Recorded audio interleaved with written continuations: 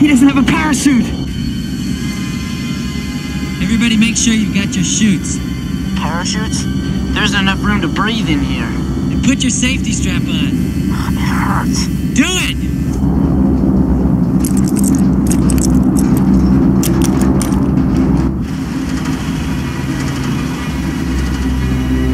Captain, I just heard from C Cup. They're dropping out of formation. We're in the lead now.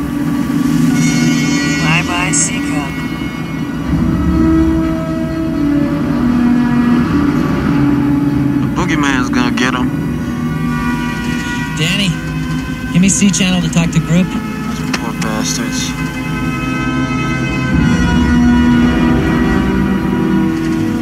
It's the Memphis Belle.